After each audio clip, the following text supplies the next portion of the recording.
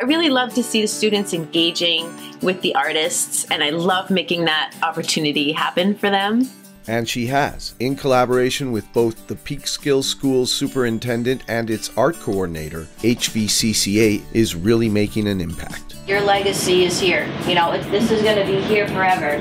You're going to be graduating, coming down here, and being like, look at, there's our name, and there we are. So what I love about our in-school artist residency programs is that we're providing students with an opportunity they would not ordinarily get in a typical public school setting. We bring artists into the schools. Did you pick out a space? Not yet. Oh, I should have my light. Yeah, exactly. Students are able to learn new skills from them. They get to feed off their wonderful energy and get inspired by their creativity. It's wonderful to see students react to the artists and see the possibility like, yes, you can be an artist and that be your work. I always tried to make the point they're not much older than you. Look at what they're doing. They're traveling the world doing this amazing project. It's about social justice, it's artistic, they're using social media. It made it very accessible for the students.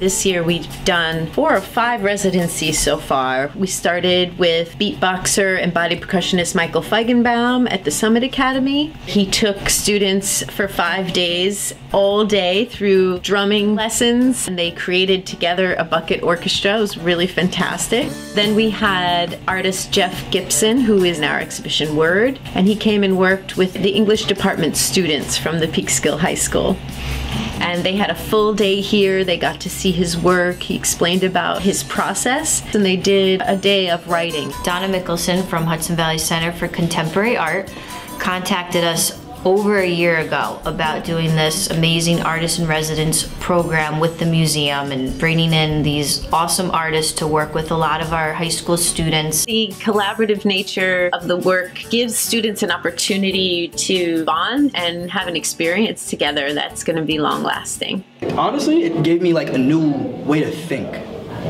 Because when you have a teammate or like whoever working with you, it's not only your brain it's two brains coming together. So like 50 50 plus another 250. Art is a universal language. Everyone can understand it. Everyone can appreciate it. My wife and I feel so strongly about art and how and its impact on people, just visually and being able to participate in it. Uh, the fact that these kids had this opportunity and were able to execute on it, and now it's part of their life, um, is, is huge. It's, uh, it's, it makes a big impact on kids and hopefully will stay with them for the rest of their lives. We have some amazing students in this uh, in this school district that have been excelling in all areas of uh, academics, athletics, performing arts, and this is just another opportunity to provide those youngsters an outlet, if you will, uh, and connect them to their strengths and their preferences. It's been amazing. We're looking forward to building on it and building on it and continuing to be part of those solutions. I'm an artist and I'm an educator, and so I get to join my two passions. Using art as a vehicle to build community is it's one of the best ways to bring people together. Art is